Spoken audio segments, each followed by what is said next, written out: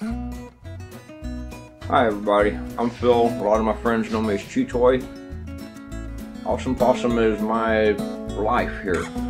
We are a DIY build center for all nomads. Um, a lot of people are buying vans and skoolies and trailers and RVs and whatnot, and uh, it's well known you can't really build those in your HOA driveway or in your apartment parking lot, and uh, so we provide a safe, secure location for you to come build out your dream.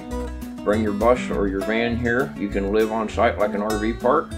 Um, we have a well-equipped shop with all the tools, and we have a community of DIYers outside who are building amazing things every day.